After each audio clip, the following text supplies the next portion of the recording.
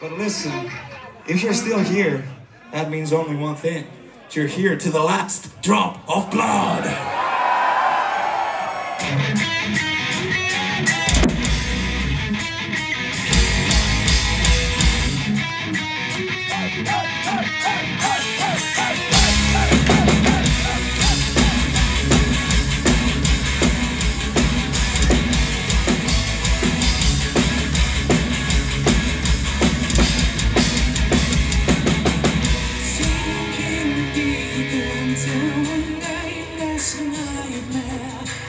shrouded in every mystery.